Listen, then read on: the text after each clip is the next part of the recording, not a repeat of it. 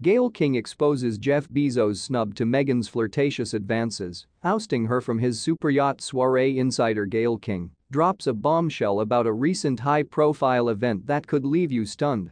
It seems Jeff Bezos, the Amazon magnate, gave Meghan Markle a cold shoulder, literally kicking her out of his lavish superyacht party. The scandalous event involved Bezos and his fiancée Lauren Sanchez, who were soaking up the sun and love on their stunning $500 million super yacht. The star-studded gathering included none other than Gayle's besties, Oprah Winfrey and Gayle King herself, as they dined together in a picturesque spot near Capri. The real intrigue here is the drama brewing beneath the glamorous surface. Amidst all the glitz, Meghan Markle, a notable presence in the showbiz world, might have had her eye on a certain billionaire. Jeff Bezos. Rumors swirled that Meghan had been hoping to catch Bezos' eye, but our sources reveal he remained completely unfazed by her alleged advances. Bezos' heart appears to be more than content with Lawrence Sanchez by his side. But wait, there's more.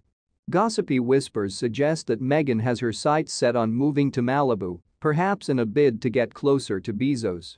The mogul, with properties scattered across various prime locations, from Maui to Washington, seems to have drawn Meghan's attention due to his immense fortune and lavish lifestyle. The question is, will Meghan's romantic aspirations bear any fruit, or will her plans be dashed by Bezos' devoted relationship with Sanchez?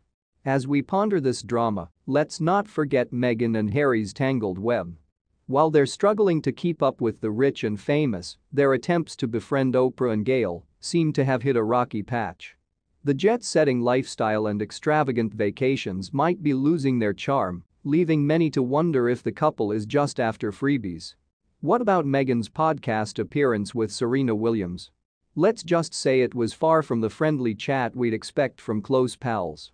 The awkward and lackluster conversation raises eyebrows about Meghan's ability to truly connect with others, especially when the cameras aren't rolling. So, dear viewers, it seems Meghan's bid for Bezos' attention has been met with cold shoulders and awkward interactions. The world of the rich and famous is certainly not as glamorous as it appears, and this tale of high-profile parties and strained friendships might just reveal the true colors behind the glitzy facade. Stay tuned as the royal rollercoaster continues its twists and turns, and we bring you all the juicy details you crave. Before we wrap up, make sure to hit that subscribe button so you never miss a moment of our captivating stories. We're your go-to source for all things sensational, and trust me, you won't want to miss what's coming up next.